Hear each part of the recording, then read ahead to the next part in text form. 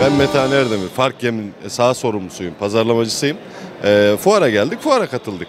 Ziraat mühendisiyim, aynı zamanda veteriner sağlık teknikeriyim. Pazarlama alanında çalışıyorum.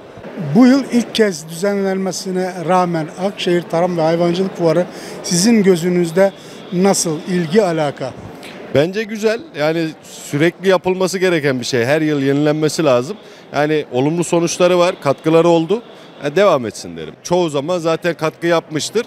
E, bir de yeni bir ürün çıktı, yeni bir firma açıldıysa fuar onun tanıtımını da yapmış oluyor. Bu iyi bir şey yani. Peki efendim çok teşekkür ediyoruz. İyi fuar. Ederiz. Teşekkür ederiz. Sağ olun.